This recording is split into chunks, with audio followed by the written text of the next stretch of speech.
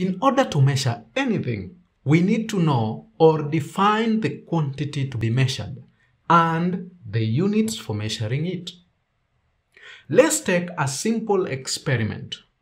You and your friends are asked to go and measure the size of your school football field. Of course, you will need to measure the length and width and uh, then probably calculate the area. But before we begin with measuring the width and the length, we will need to agree on some common units to use. This is for uniformity purpose. Why do we need this? If we allow each one of you to start measuring on their own, there are those who are going to take their footsteps. They'll start using their footsteps as a unit. Others will use rods of whichever length. Others might take miles. Others will take yards, etc. At the end, we will come up with different sizes but the same same football field. This is a problem that existed for so many countries. Each country had their own system, their own unit of measurement. In this video, we are going to study the International System of Units, commonly abbreviated as SI units. These units are accepted nearly in all countries on the globe. My name is Fred Arapto from teacher.co.ke and let's begin.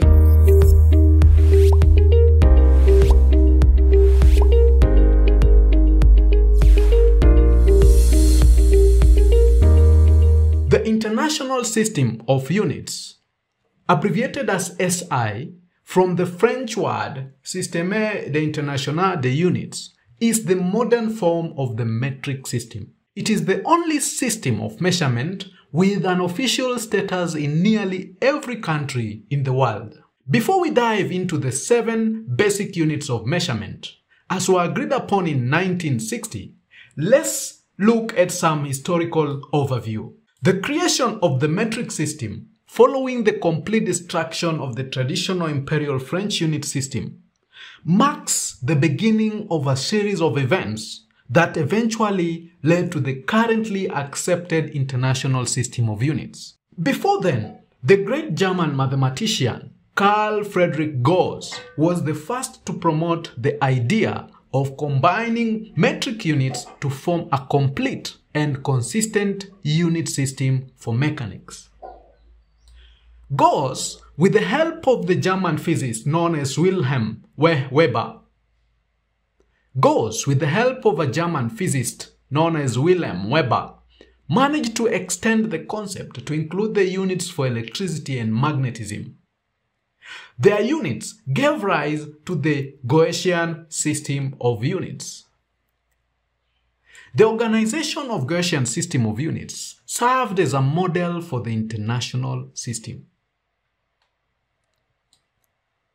The 11th General Conference on Weights and Measures that took place in Paris, France in October 1960 brought together many international organizations to establish the definitions and standards of a new system and to standardize the rules for writing and presenting measurements.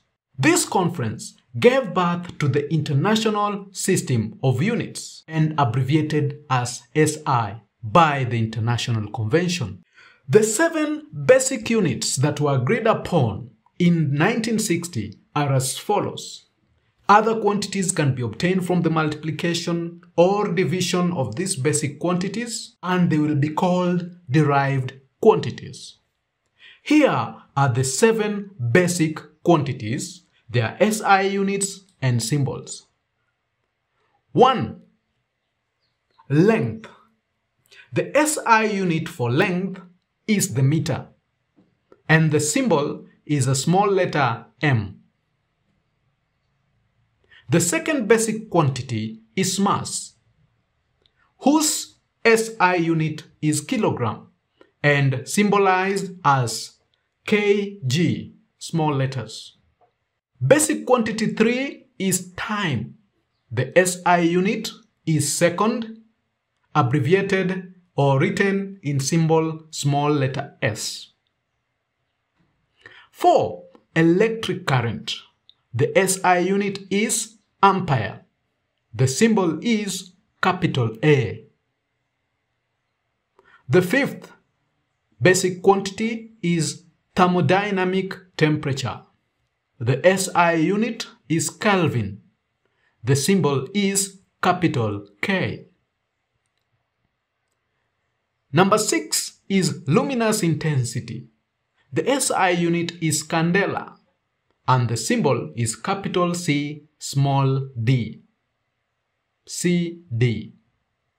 Number seven and the last one is the amount of substance.